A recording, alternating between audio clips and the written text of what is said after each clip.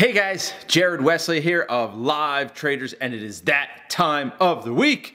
It is lecture time, and this week's lecture topic, guys, is relevant to this market right now.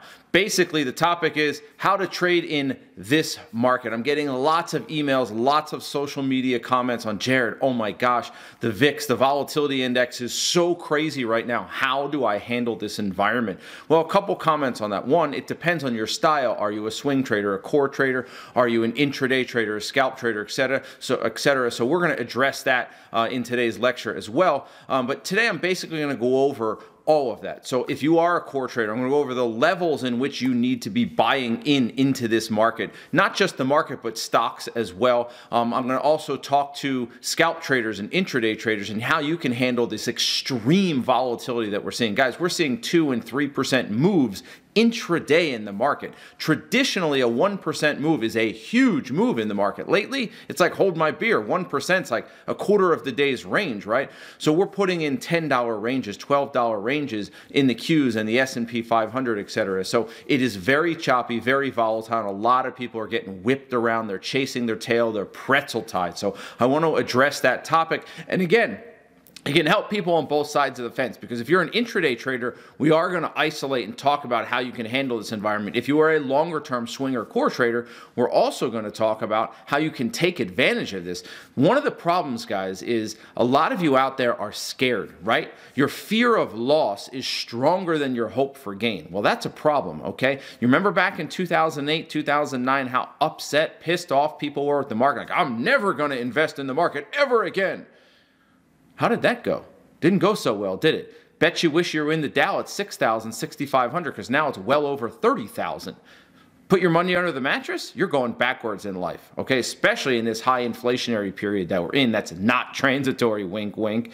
Um, but the point I'm making, guys, is you need to be buying this market on the way down because the market goes up over 72% of the time historically. We're going to address all of that in today's lecture. So if you like these videos, please click the like button, smash, hammer that subscribe button, build this account, this channel, build this account. Come on, we can do it. All right, I'm Jared Wesley of Live Traders. Let's get to it.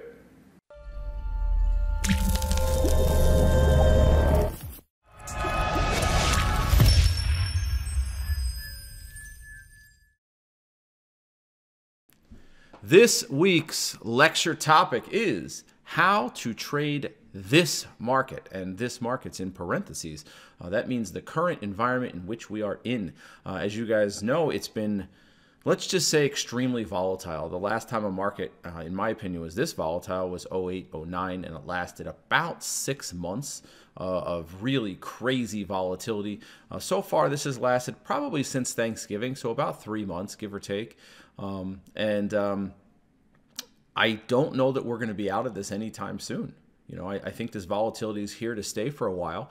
Uh, when you look at the geopolitical events, when you look at the Fed, um, you know, monetary easing or they're tightening their, their balance sheet, whatever you want to call it. Um, but they're putting less money into the markets, which prop the markets up. Interest rates are a big issue right now. Inflation is a big issue. There's just a lot of economic stuff and geopolitical stuff going on. So the point being is, is I don't think we're going to stop this volatility for a while.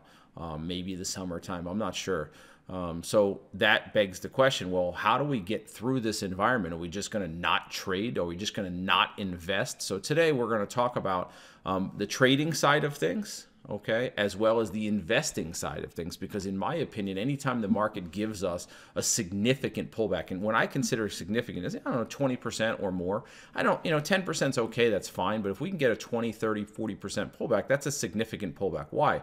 Because it doesn't happen all that often. And when it does happen, you want to take advantage of that environment right? Because if you're holding something long term or you'd like to retire someday with a lot of money, it's always nice to be able to to take advantage of a discount in the market, right? A lot of people cursed the markets back in 2008. Absolutely cursed the markets.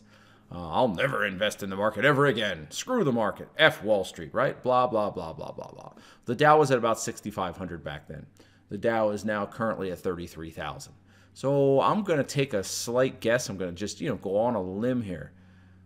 Those folks wish they had put more money into the market in 2008 or 9 instead of taking all their money out of the market. But the average person is usually on the wrong side of market cycles anyway. The average person, honestly, they're terrible investors. They're terrible. All right. Um, only to be slightly beaten by hedge funds who are also terrible investors. So we'll talk a little bit about that today. But before we do any of that, we must first talk about when will the insanity stop? Uh, I have a, I have an interesting one for you guys today. Um, I still, I still at times I get shocked and surprised um, at the the stuff that people do. Um, what would appear to be just super commonsensical uh, apparently is a rare, rare, rare superpower. The common sense thing, I mean, um, which is not that surprising. Just go people watch in the park and you realize it. Um, but nonetheless, today's is this. Now, to be clear, this person ended up making money. They made money on this, $13,000. But here's the thing what did I do wrong? I probably should have taken their name off here. I apologize. Oh, well, it's too late now. All right. This morning, I set up what I thought was going to be a purchase of 5,000 shares of AMD at a price on the way up. Okay. Blah, blah, blah, blah, blah. Then this person doesn't even know it, adds 5,000 shares. You did, Rob. Thank you. This person adds another 5,000 shares when they thought they were selling 5,000 shares. Okay. Um, so the point simply is trading 5,000 shares of any stock, I don't care if it's a penny stock or in this case AMD, which this is from a couple few days ago, uh, but that's a $107 stock. Again, that's from a couple few days ago. That's actually from yesterday. Um, and not knowing how your platform works, that's called insanity. Okay, I'm going to repeat it because it's really important. Trading 5,000 shares of any stock and not knowing how your platform works is called insanity. So I can't think of a great analogy. The only one I can think of is let's imagine you just bought a new car. And I know, I know, I know this would likely never happen. Imagine you got into that car and you didn't know where the brake pedal was, you only knew where the gas pedal was. That's insanity taking that car out on the road, isn't it? Because you don't know how to stop, you only know how to go. Okay, so when you look at this and you're like, wait a second, uh, I use you know thinkorswim or whatever, all this other, but how can you be trading half a million dollar positions and not know how your platform works? And in this case, it ended up being a million dollar position because this person ultimately had 10,000 shares of this, right? 10,000 shares of this thing. Okay, so it was over a million dollar position. If you're not sure how that specific order is placed, you try that order with one share, 10 shares, 100 shares, something very small and comfortable till you understand how that specific type of order is used, whether it's an OCO order, an OSO order, a limit order, a stop market order, a stop limit, I don't care what it is. What are you doing? Do you realize how badly this could have gone for you? Because if you don't know how to place the order, it also means you probably don't know how to place the stop loss either. Because you had 10,000 and you tried to get five. So you had double the shares that you wanted because it bought when you thought it was selling. What are you doing? I know it was a dumb mistake. No, it's a freaking stupid, idiotic mistake. What if that had really gone against you? What if in this volatile market, it's very possible, news comes out and all of a sudden AMD tanks and goes down $5, which on a $100 stock is not insane. You're down 50K now, my man. Stupid. What are you doing? You know what I mean? So, my point to you guys is for the love of God, take this business seriously. Treat it like a business. Don't treat it like some passing thing. This is how people bag hold. This is how people lose significant amounts of money. So, what could have happened to this person? They don't take the stop loss, or they thought they were getting out when in fact they doubled their position. It keeps going against them, keeps going against them. Like, no, no, I can't get out. I'm going to lose too much. So they bag hold. And in this market, we've seen days where the market's down 3%. AMD goes down 3%. The next day, another few percent. And all of a sudden, you're down 100 grand for no good reason. Just don't do it. If you're learning a new order type and you're not sure about it, either test it in the simulator or take a trade or two on very small risk, learn how that order entry or stop loss or bracket works, and then apply it to your normal risk level. You, sir, are a gambler or have no common sense. I don't want to use the other word. You're one of those two things. So I hope the rest of you will learn from this. This is insane. I mean, it's just egregiously foolish. But it's how the market goes. This is what people do out there. All right. So let's move along. All right. So don't get it twisted. I used that line last week. Don't get it twisted. Know your support and resistance levels and the market cycle. You see a theme here? Do you guys remember a couple weeks ago we talked about the basic market cycle. Do you guys remember this slide? I think you probably do. This is the second or third week in a row that I've put this slide in here. There's a reason. I'm, there's a general bigger picture I'm getting at here. No, I'm not going to sit here and go crazy on this particular slide today because, well, we've already done this slide, right? So it's the only movement that's possible, right? We have ambivalence, greed, indecision, and fear. Okay, so right now we've talked about it. We are between this indecision and fear phase, and to be quite honest, we're more in the fear phase, right? We're more close to the stage four on the daily chart. Um, but again, I want to do a couple things. All right, I want to liken this to the market we're in now. So we're going to look at the current market chart here in just a couple minutes. The Qs and the SPY. We're going to take a look at a weekly chart of the Qs and the SPY currently. All right, but before we do that, I wanted to add a little bit of levity to it. It's serious levity, like it's funny, but you know, it's serious. So this is, I added the captions, okay? This is from Dr. Jean-Paul Rodriguez, Department of Economics and Geography at Hofstra. That's the person who gets credit for this particular picture, just not the, the other pictures that I threw in here. okay? So I want you to look at this in this light. Because when you look at it back, let me go back a slide. When you look at it like this, it can be a little bit sterile or disconnected. And you're like, oh, it's just a line, Jared, whatever. It's just a line, whatever, right? But when you start internalizing or making it more humanized, right, it becomes a bit more real. And those emotions you can kind of relate to because we've all probably been there. So you go over here, the stealth phase, right? This is the smart money, like the actual smart money. I don't mean hedge funds, okay? This is Congress, senators, people in government that, why do I say that? No, it's not a political statement. They have legalized inside information. It's, it's legal for them. I don't know how. Okay, I don't know how you can be on the financial oversight committee and own stock in the company in which you're overseeing, but that's the way our government works these days. And both parties do this, and it's legal. My point is, that's the genuinely smart money. I mean, honestly, guys, Nancy Pelosi makes Warren Buffett blush with her returns. I mean, Warren Buffett wishes he had the returns that Nancy Pelosi somehow gets. Um, I'm half joking on that, but you get the point, right? So don't worry about this because you're never going to be this. You're just not, all right? Unless you happen to make it to Congress or Senate or something like that, all right?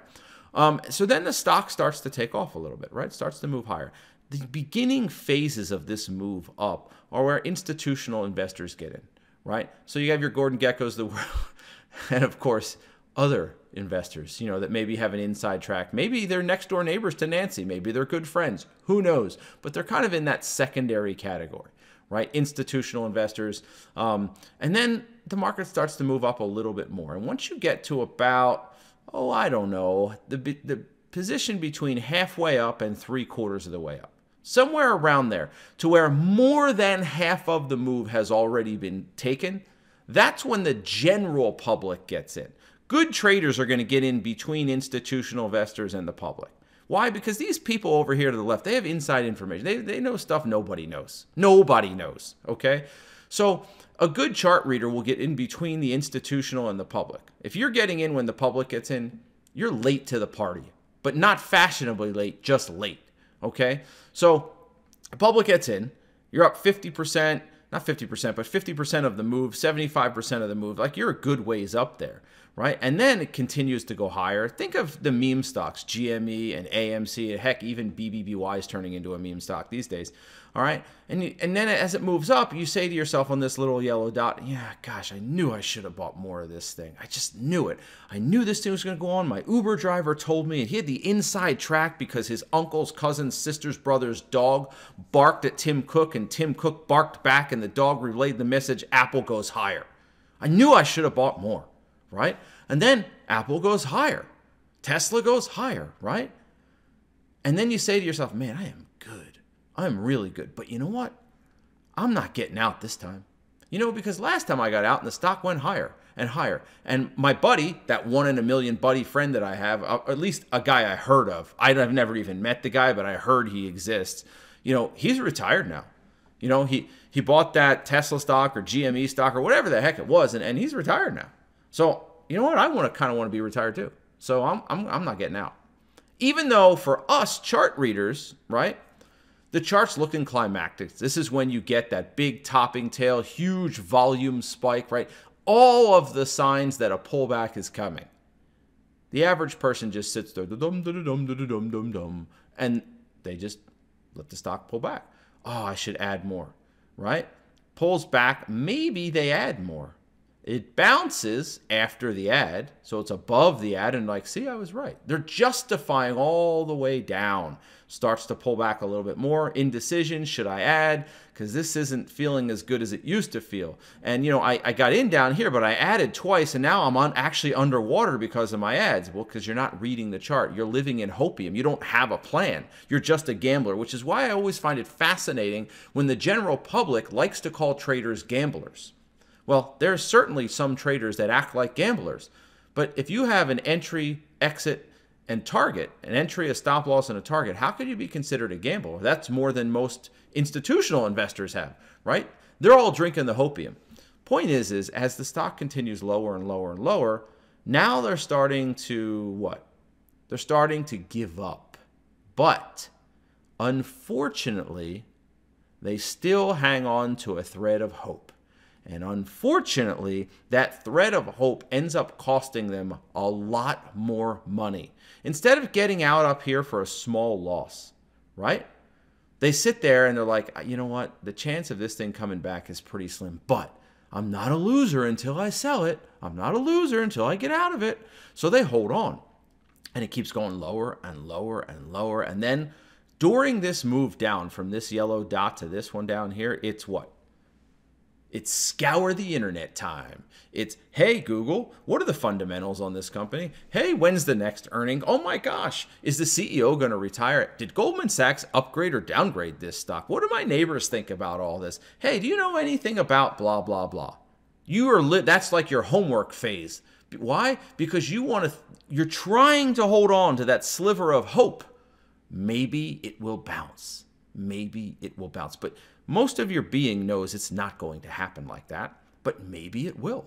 Okay? So, it keeps going lower, and then you finally get to what we call the pain point. The pain point is when you can't take it anymore, and you're like, F this, I am out. F Wall Street, I'm selling. And that's just about the time, a little bit after, starts to come back up.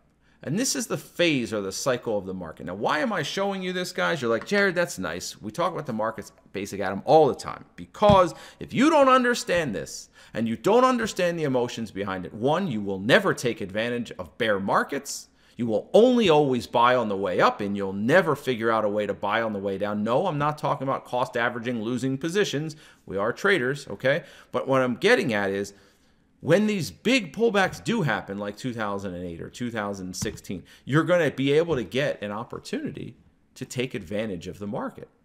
But most people are too fearful and too scared to do so. And this is why the average investor over the last 10 years has returned 2.9% when the market has returned 14 to 15%. Think about that.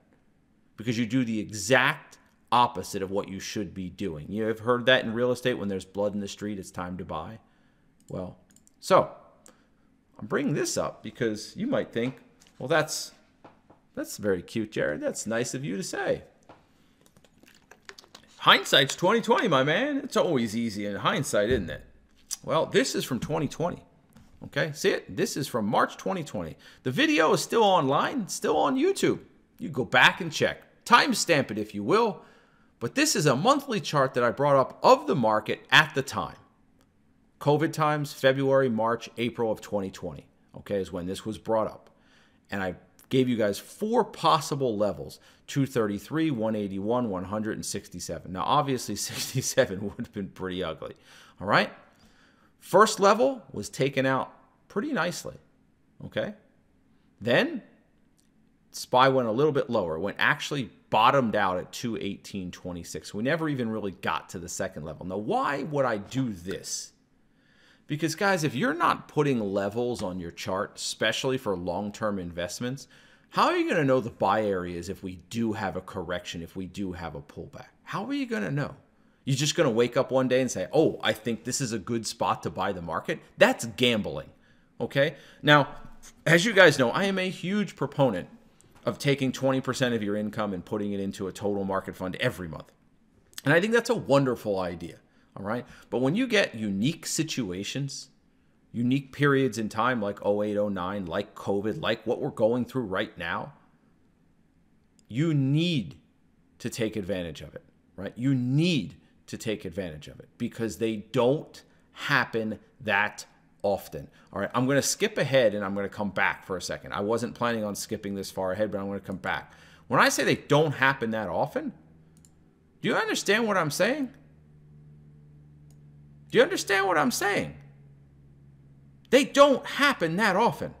2008, the market was down 33%. 2000, 1 and 2, ooh, 6%, not a big deal. 7, not 16, probably can take advantage of that. Guys, when's the last time, other than 08, the market in the last 40 years, 40 years, when's the last time the market was down more than 15, 20%?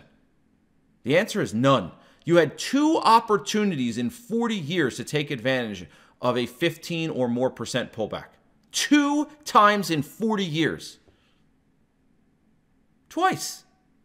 Now, I'm not saying during this there weren't opportunities. 1987, you had what, a 10, 12% pullback, something like that in the middle of the year. So I'm not suggesting that during, in the middle of some of these years, perhaps the market was down 10 or 15 or more percent. But the point you get, it does not happen very often. Okay? It does not happen very often. So when it does, stop being such big puss bags. Man up, person up, girl up, whatever you want to call it, and buy it because it's going to come back because it always comes back. And the day it doesn't, you have far bigger problems in your bank account. Trust me. Okay? So stop being so damn scared when the market pulls back. When the market pulls back, your eyes should go wide open and go, Thank you. Please drop some more. Please drop some more. I want to buy, buy, buy, buy, buy, buy all the way down. Okay? Now, what if you drew those lines in 2008? What if you drew the same lines? You would have hit three or four, you would have hit every level basically you could have drawn because the last level would have been down here at 67, just above it, and you would have bought some more. How would you have felt there? Yeah, you'd be up 600%. Imagine that. 12, 13 years, 600%. So, let's draw current levels. Let's draw current levels. Okay? We'll take a look at the Qs on the weekly, the NASDAQ 100. Take a look at the SPY on the weekly, the S&P 500. So I drew a few more levels this time. I drew five levels. One of them is kind of an in-between level, right? Because it's this double bottom pivot, but we also have another pivot at 300 It's close by. I don't know about you guys, but I already added at 350. Okay, now I added on the SPY, so we'll get to that in a second. But on this pullback, the equivalent version on the SPY I already added. Okay, down here, I added some more. All right. We haven't gotten to the next level yet. And if we do, I'll add some more. And I, honest opinion, I think we get down there. Do I think we're going to get down to 260? I doubt it. I don't necessarily want us to get to 170, but if we did, I'd be buying up huge amounts of the market. We've already hit one level. We've already hit the second level. Now it's just a matter of hitting a third level down here. This one would be kind of nice at 260. I'm not sure we're going to get there right? I'm not sure we're going to get there. From the top at like, what is that, 408 or something like that, down to 260, that's a $148 move. Uh, that would be what, somewhere in the 30 some percent range? That would be a pretty significant pullback. Now remember, the market could end the year above 400. I don't care how it ends the year. I just care in the middle of the year how I can take advantage of the pullback. All right? So I'm going to skip to the SPY because this is what I base my buying mainly on, okay? Um, this one is a range, and this is why these two lines are here. Why? Because this is the top, right? Remember, the ceiling becomes the floor. So this is the bottom of this pivot, but the top of this area. We've already peekabooed under. I've already added some here, okay? We've gotten very close to the 400 area with this bottoming tail. All right, now we're sitting at like 426, something like that. I'm fairly confident we're going to hit 400. All right, will we hit 350? Possibly, right? 350 from the high. I think what is the high, guys, on the market? Was it uh, 460 or something? Or sorry, 480, something like that. 479, something. I think it's 480 is the high. So my point is, pulling back to 400, right, is only about a 20% pullback. That's not that big of a deal. It's just not. Okay. In the grand scheme of things, a 20% pullback is not that big of a deal. Okay. So I would love to see us hit the 350 range.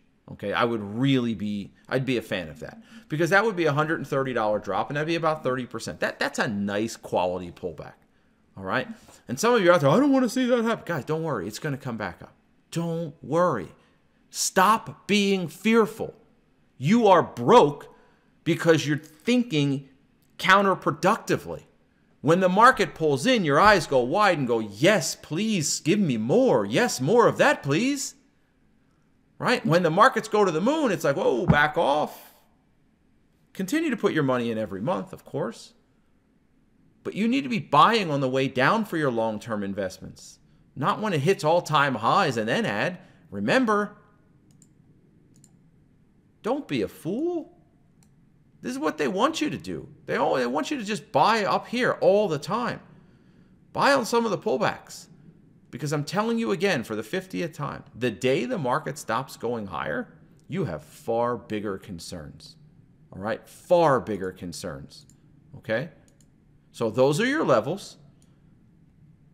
Two, three years from now, like we did the last one, right? The last slide I showed you was from two years ago almost exactly two years ago. Two years from today, 2024, March, we will revisit this and we will see where the SPY is at. My guess is it's going to be above 500. Perhaps significantly. Time will ultimately tell. If it's not, we'll deal with it at the time. But my point is is take advantage of these pullbacks. They don't happen that often. We just saw it. Two times in 40 years has the market closed down more than 15%. Twice in 40 years. Yeah, it's pretty rare. Guys, you do the same exact thing with stocks. Well, I'm not just talking about the market. Maybe you want to build a position into Tesla. Maybe you want to build a position, um, I don't know, into Microsoft or Apple or some other company. You do the same thing. All right. So I'm late to the party. There's no question I'm late to the Tesla party, but I'm trying to build a mediocre position in Tesla, mainly for my kids' future, but I'm trying to build a position into Tesla. So I added right here, which is about $900 right there on Tesla. I added right down here at the $800 mark. And I also added a little more, which is kind of no man's land. I added a little more just over 700, 711.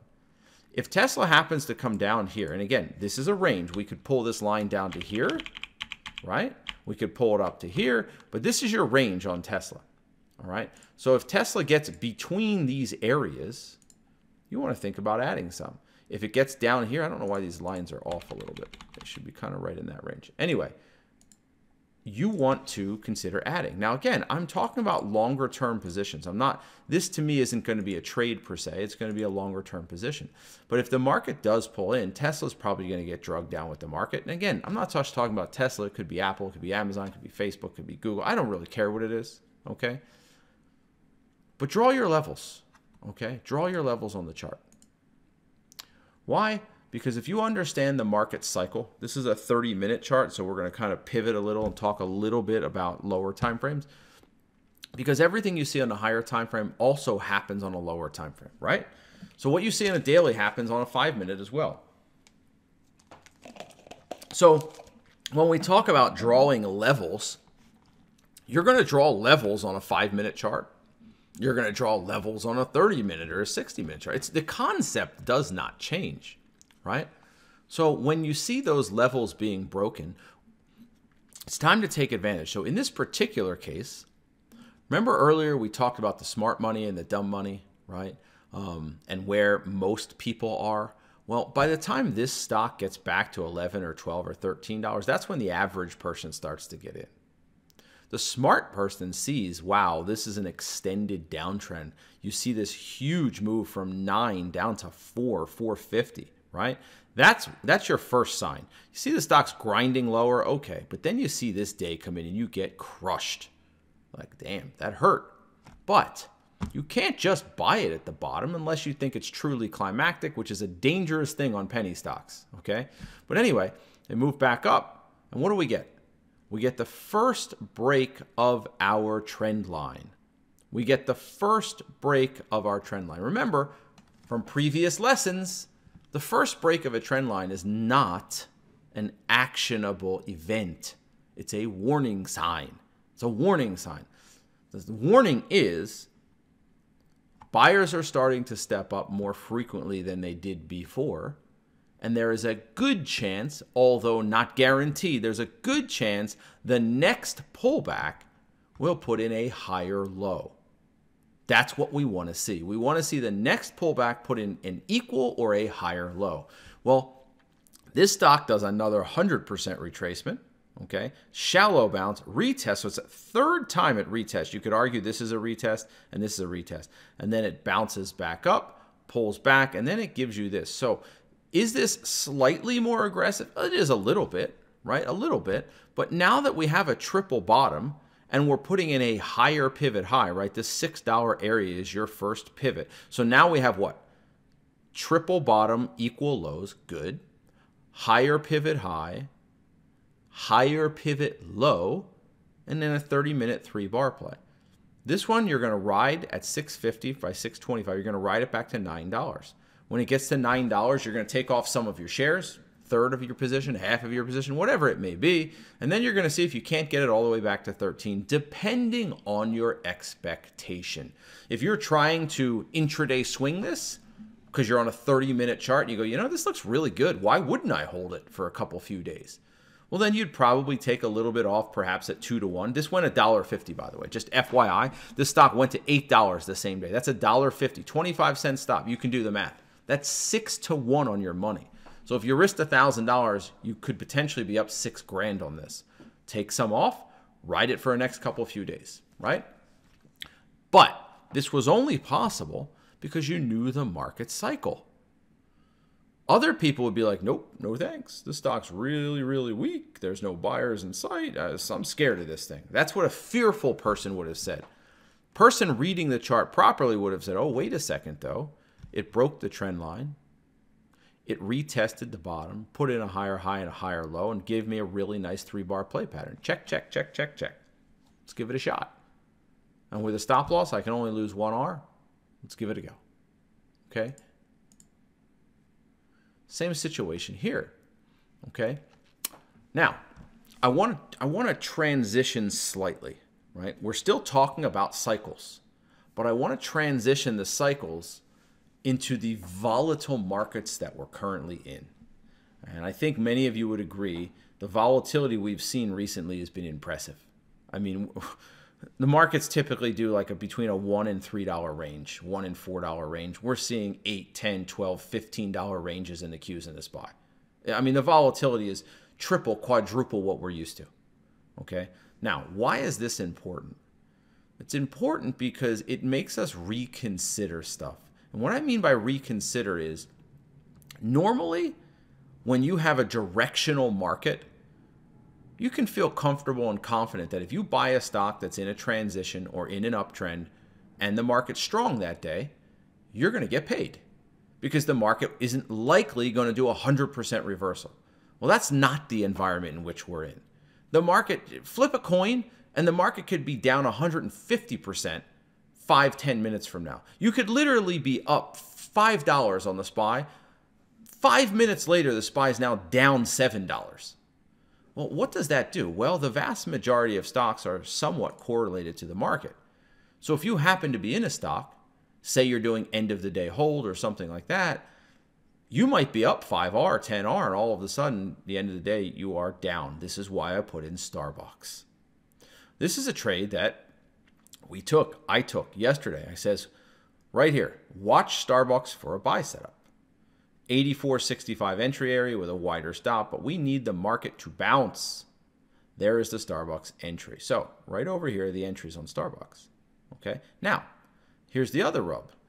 Generally speaking, 11:30, 12 o'clock, 1 o'clock, that's a more quiet time in the markets, right? Things settle down over lunch. The big boys go have their, I don't know, their Cipriani lunches, okay, and their Smith and Wollensky steaks at that time. Maybe they leave the office, okay? But the point simply is that's typically a less volatile time. If we draw our trend line, remember micro time frame um, stages, okay, cycles. So we break above the trend line. We retest with a higher low and a higher high and an equal to higher low. So what are we seeing here? On a micro time frame, we're seeing a transition. We're seeing a stock that's likely going from a micro stage 4 downtrend into a likely micro stage 2 uptrend. Stage 4, double triple bottom retest, stage 1, you get that little transition period in the middle, and then back up here, probably a stage 2 and all was well in the world of Starbucks. Frappuccinos and lattes were flowing, right? I mean, you're in here at like 84.65. The stock goes close to 87. You're going, man, $2.30. It's probably like a 75 cent stop loss. You're going, damn, I'm up 3R. Now, if you did 3R, you probably got paid. But then what happens? Stock comes all the way back, retests, bounces, and then rolls over, puts in, or at least tests the low of the day, and you stop out. How did that happen? You did everything right. You read the trend, you read the cycle, you got in on a proper pattern, on a proper setup with a proper entry and a proper stop loss. But the problem is, the markets don't normally do this. Right? Markets just don't normally do this. Guys, this Qs went from 320 to 333. That's a $13 move. That's about a 4% move. I'm going to repeat this. That's a 4% move. Hold on a second. Wait, stay with me. Guys, there are years the market isn't up 4%. Here's one, 4%. Here's one, 2%. 2% right there. Okay? Here's a 5% year. All right? Minus 2%. There are years the market doesn't do 4%. The market on this particular day did a 4% move in an hour. You heard me. In one hour, the market bounced 4% off the lows. What? That's extreme volatility. So, my point though is if we take a look over here, the trade was taken at the right time, right? This is the Starbucks trade on the right, this is the market on the left. I mean, you couldn't have timed that trade any better. It was really spectacular. It was a great trade. But I wouldn't have suspected a market that pops $13 is going to give 75% of it back up. I would expect a pullback to here. See the 328 area right there? You see that right there? Circling it? Yeah. A bottoming tail here, a little reaction, and I think, okay, we're just going to hang around between 328 and the high of the day. We're just going to stay there. Right? Nope. No thank you broke the low, bounced, and broke the low again. What? So, where am I going with all of this? Know the environment in which you're trading because it might change your expectations. It might change your trade management. You might say, all right, I used to be an all or nothing trader and I still am. Maybe you're still doing 2R and 2R is okay. But if you're an end of the day hold trader, you might say, you know, I better take some off on the way up if I get two or three R because I don't know if and when the market's going to reverse. And lately, the reversals aren't quiet, small little pullbacks that you can withstand, they are waterfalls. The bounces are huge and the pullbacks are nasty on both sides of the coin. Okay? I would not have suspected this bounce at 320. We're retesting the lows of the day. We look like we're going to go lower, and then boom, 20 minutes later, we cut through one pivot, two pivots, three. Three pivots just sliced through like hot knife through warm butter. Gone. What? And then, oh my gosh, Vladimir Putin comes out and says something, market tanks. Fed comes out and says, oh, instead of a quarter point, it's a half point. Tanks. All right? Oh, we're sanctioning Russian oil. Tanks. That that's a tough environment. geopolitical issues, financial concerns, interest rate concerns, all, everything you can imagine, this perfect storm. So you have a choice there. You can sit on your hands or you can make some adjustments. Okay? So when we look at this, this is a traditional chart that we would read traditionally. And I'm not saying you should read it differently, you should continue to read it the way it is. But you might change your expectation based upon the environments.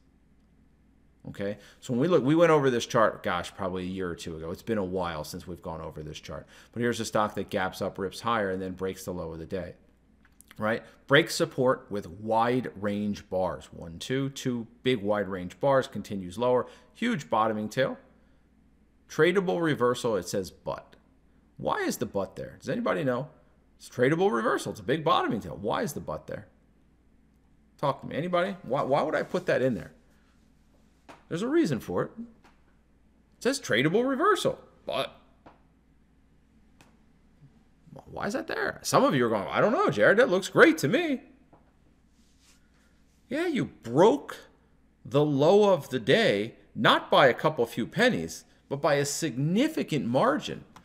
Right? I mean, that's the low of the day. And let's be frank here the buyers were pretty committed early in the day. And then you take out a bottoming tail, two big ass green bars, and you just kept going lower.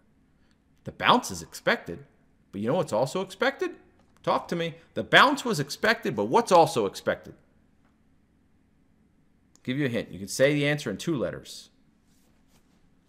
Two letter answer. Bing bong, Yanni got it.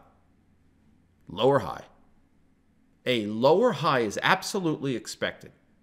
And often those lower highs will turn into sell setups. So this lower pivot high was absolutely expected. And then it turned into a sell setup. But the lower high has to happen before the sell setup, right? They can be one and the same sometimes. So then it goes lower, continues lower. So first sell setup after a big reversal is lower odds, don't trade it. I would agree with this. Why? because this stock was strong. We need to be careful. So I'm not saying you can't take it, even though it says don't trade it, but I'm saying be very careful, right? Because typically on a stock that gaps up like this, unless it's climactic or super extended, you know, 15, 20, 30% up, these typically chop a lot, right? They typically chop a lot. So anyway, the stock goes lower. You get a little reaction right here. Why? The reaction is the overlapping sideways bars. Why the reaction? Because of the bottoming tail, right? That's where the buyers and sellers are fighting because buyers came in really strong over here, but sellers are clearly in control over here. And then buyers and sellers have at it again. Sellers win. Shallow bounce, guess what? That that's pretty good sell setup right there. It's not even marked. It's a pretty good sell setup. Okay, short it right there, stop right there. Target's there. The only negative is you don't have a huge target. Breaks the low, starts to come back up. Now, now we have a problem. So slightly aggressive short over here. Possible break down here because you do have a consolidation. I would I would have preferred a couple more consolidation bars to short this breakdown, but it's a shortable breakdown. Shortable. Drops, bounces, sell set up right here because now we're in multiple lower highs and lower lows lower high one, lower high two, lower low one, lower low two, multiple, two or more. Okay, so now we're technically in a downtrend. All right, stock goes lower, but this happens. So far, we're really good up until this bottoming tail. Everything's good. You're like, hey, this chart's doing what we expect it to do. Starts to come back up. So far, not a huge problem. This is a problem. A 100% retest of the prior pivot and technically a higher high. Not by much, but a higher high. This is a problem. What happened to all the sellers? This this is not a significant new low. It's a peekaboo low. Peekaboo lows mean buyers are stepping up sooner than we expected them, sooner than they should have. This stock should have chopped around a little, like that little bottoming tail, and then it should have gone lower. It did not. Read the chart. Don't put your opinion onto the chart, just read the chart. It's telling you what it's saying, right? So, After this semi-equal low, yes, it's a lower low, but it's not a significant lower low. Then what happens? We break above the trend line. Now we have two problems. We did not put in a significant new low, and we just broke above the trend line. Things are starting to get dicey. Pretty soon, we're going to have a third problem. And that third problem is we broke above the prior pivot high. That's a big, big, big, big problem. So again, I'll repeat. Problem one, we did not put in a significant new low. Problem two, we broke above the trend line. Problem three, we put in a higher high slash equal high. One, you would have already stopped out of your sell setup. But the point all of this is leaning towards is stock is finished going lower. That's, that's the message you're taking here. We are no longer going lower. Now I want to see what? Preferably what? Two things I want to see, but one's preferable over the other. What do I want to see? After all those three things that I just told you about, what do I want to see now over here? What do I want to see? Talk to me. Show me you're paying attention. Right here, where my cursor is. What do I want to see? Ferron. Higher low. I want to, we already got it. Guys, how could the answer be a higher high? We just came from a higher high. Right? Why would the answer be a higher high when that's exactly what we just came from? What do I want to see after the higher high? My cursor was sitting right there. You saw it. it was sitting right there. Okay? After the higher high, you want to see a higher low. You want to see the buyers step up earlier, sooner, because over here, the chart is telling us buyers are coming in, right? Weak new low, buyers are stepping up. Break of the trend line, buyers are stepping up. Higher high, buyers are stepping up. Confirm to me that the buyers are still committed. Put in a higher low. Put in a higher low. Show me you're committed. Don't tell me, show me. Well, in this case, technically, not by much, it puts in a higher low, right? It didn't put in a new low, it put in a slightly, not by much, not by much, put in a higher low. Bounces, retest, another higher low. Now, what can we say? Now, do I want to buy this here? That's debatable, right? It's an aggressive area to buy. But I can tell you the odds of this bouncing are significant because of everything we just learned. Do I wish it put in a, a more significant higher low? Yes, I, of course, of course I do. But it didn't. Retested, put in a big green bar, retested, put in a big green bar. So now you know when this stock gets past this red line, you better look for that first entry. Perfect world. Perfect world. What would we want to see happen right here, guys? In a perfect world, talk to me right here. See my cursor? It's on the last green bar. What do I want to see in the future? Over the next four to five green bars, what do I want to see? Or not green bars, any bars. Over the next four or five bars, what do I want to see? That's it. Ferron, again, you want to see a break of the red line, which we got, and then a higher low at the new support. So let's do this. Let's do this. Let's take this, do this. That's what I want to see. I want to see, okay? I want to see this pull back to the red line, give me an opportunity to buy and rip.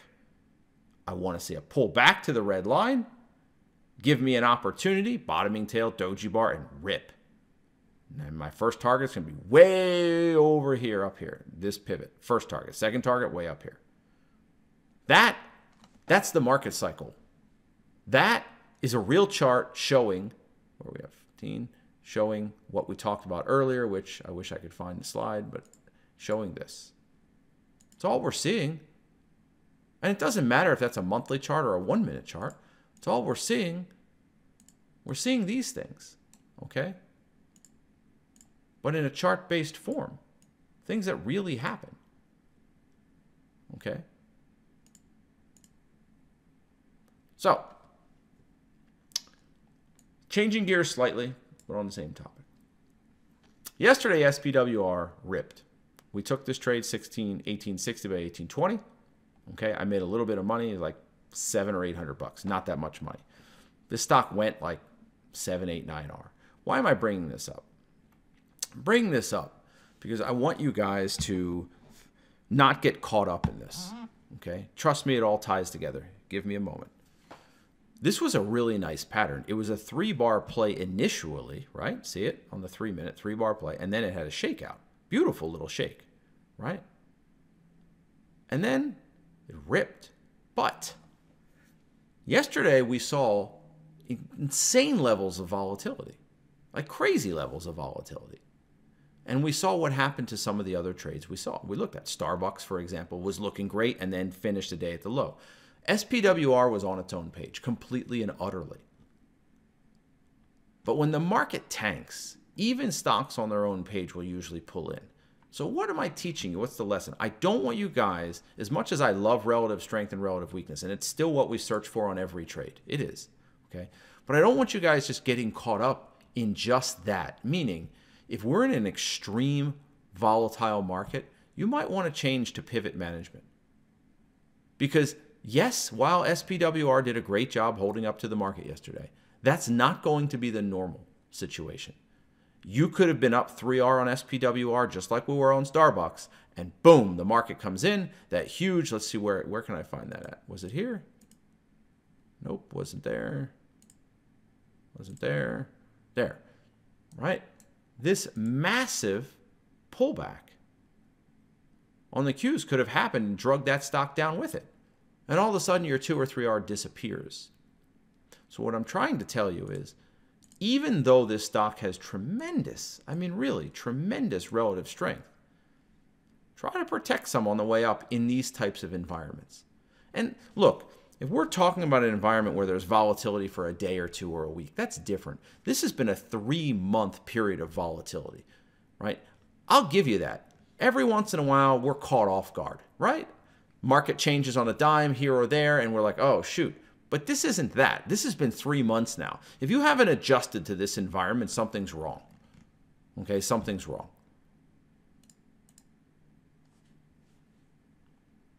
Here's another example.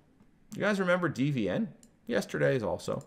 This stock started the day like gangbusters. I mean, it went from 60 to 63, which is a big move for this thing, right? So if you went long, I'm not saying there's a great entry here, right? But if you found an entry on this thing, for the first hour and a half of the day, you were just sitting back like, here, hold my beer. I'm the man. Hold my beer. In fact, give me a shot of tequila while you're at it. You know what? Just give me the bottle. That's what you were thinking. That didn't last very long. Look at this move. Right? Why? Energy sector is crazy right now. Crazy with everything that's going on in the geopolitical events, right? Would have been kind of nice to protect some of those profits, huh? You know, maybe a pivot right there, move your stop. Maybe a pivot right there, move your stop. So when this happens, you're not stopping out and you've even locked in some profits. Now, we can talk about the climactic buy setup. That's a different conversation. I am talking about for the folks because I know there were some folks in the chat room that got in this because you mentioned it to me, sent me messages. Jared, what should my target be on DVN? Well, you had a nice thing going, a really great thing going. But it didn't last all that long, right? You would have stopped out big time no matter what your stop loss was right here. So to watch profits like that disappear when you're up 3, 4, 5R can be very painful. Yep, SBSW did the same thing. Because of the environment we're in. It's not typical, it's not normal, but these aren't normal times. Okay? So point is this. I'm going to like I'm going to move this to swing and core trading investing as well as intraday trading. This slide's going to encompass all of those things. Okay. One, never panic. Never, ever panic. And honestly, you really shouldn't because your plan should have a modus operandi for when just about anything happens. Every once in a while, you get caught out. We all do. Shit happens, right? Okay. So, big picture, when the market rolls over 10, 20, 30%, don't panic, get greedy. In fact, I should say that. Hold on, let me, let me change this for a second. Don't panic, get greedy. All right? Now, remember, I'm talking about longer term investments here. I am not talking, I want to be very clear because some of you will take this the wrong way. I'm not talking about if a trade goes past your stop loss. No, don't get greedy and start buying up a losing position, that's just stupid. I'm talking about your 10, 20, 30 year portfolio. Your portfolio that you're not going to touch for 10 years. That's the stay calm, don't panic, get greedy. When the market tanks 20%, buy it all up. Just buy it up. Okay? But your trades, take your stop losses. You always take your stop losses. Know your levels, not know. It should be K N O W. That's better, Jared. All right. Know your levels, support and resistance. And this this isn't just investing. This is everywhere. This is a 1-minute chart. This is a monthly chart, a yearly chart. Know where your trend line is, know where your support is, know where your resistance is. Guys, if you ever get into a trade and don't know those levels, you shouldn't be in that trade. Right? If you ever get into a trade and you find like, you know what? I didn't know where my support and resistance levels were. You shouldn't be in it. And that should happen very rarely. Every once in a while, maybe you get into a five minute trade and the weekly chart has, you know, massive resistance or something. You didn't see it. Okay, but it shouldn't happen very often. Okay? Have a plan entry, exit, and management. All right? Have a plan. If you don't have a plan, you're just a gambler. Most of you are. Or you think you have a plan but don't follow it, or you say you have a plan but it's not written down. That's a problem. Be greedy when others are fearful. Okay, that's kind of the don't panic, get greedy. Be greedy when others are fearful. Guess what, guys? Go back, hold on for it. I think it was it this one. The average person is really fearful down here. They really are. The average person is really fearful over here. Okay? You need to be greedy AF. Wait for a pattern, don't just randomly jump in. But the average person is scared shitless on this way down.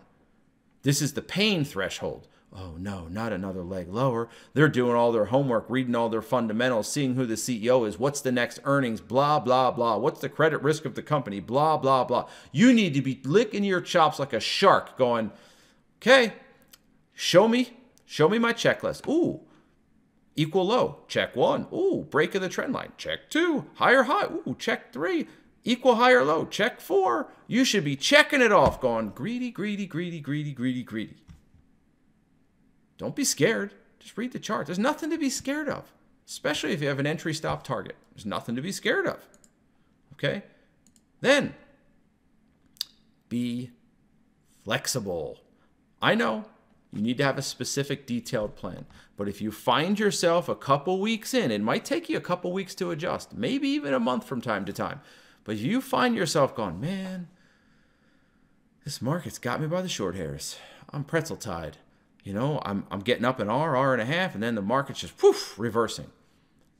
Consider for that period of time, a month or two, raising your stops or selling half, maybe going in, in portions, half lots, third lots, right?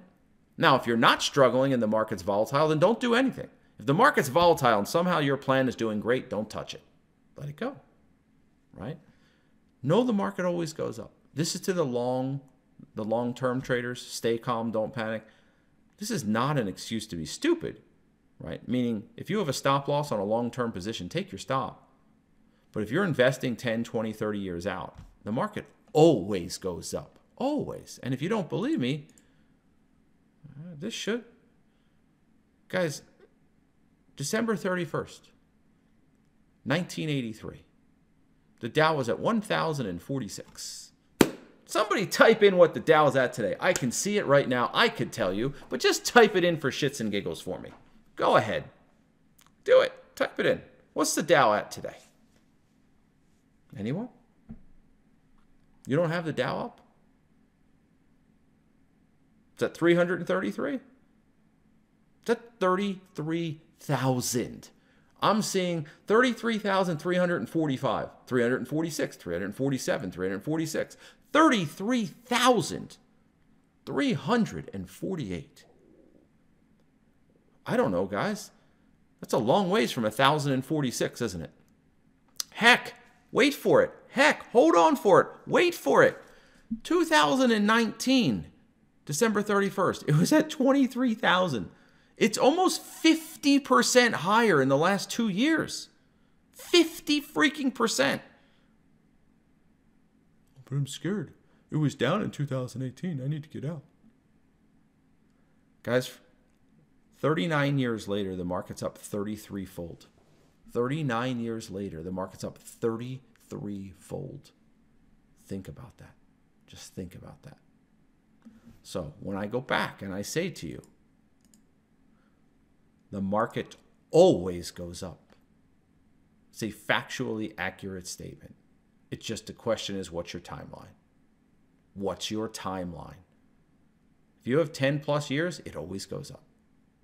There might be a decade in the in history where you look back 10 years and it's down over that decade. But it almost always goes up. So don't be so fearful. Be greedy when you see the market pull back 10, 20, 30%. And to end this off and to close this out, you saw the same quote last week and I liked it enough, I put it back in. Remember, our enemy is not lack of preparation. It's not the difficulty of the project or the state of the marketplace or the emptiness of our bank account.